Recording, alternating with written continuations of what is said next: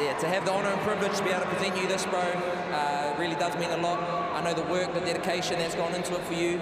Uh, I know it probably hurts a little bit not to have your whānau here, bro, uh, but I know they're proud of you. Mum, dad, brothers and sisters, grandparents, all really proud. Your beautiful wife, Hannah, baby Billy, uh, we're sitting there watching you right now, bro.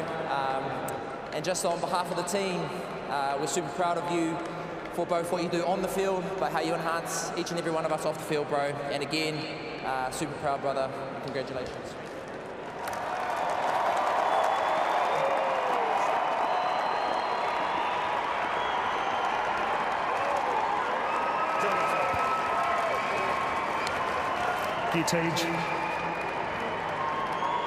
It's been a pleasure to play with you, bro. You were there from the start.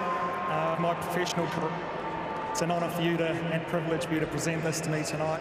Uh, to Alan and your teammate, thank you so much for the test tonight. Um, it's hard to beat a fortress like this playing here in front of your your fans, mate. It's um, yeah, certainly a special occasion each and every time, and to play my 100th here, it's certainly something I'll remember for the rest of my life. Um, to my men and women who are here, past and previously, who I've had the pleasure to do this with, um, thank you so much for your influence on me, for what you've done and uh, helped me to achieve this moment tonight.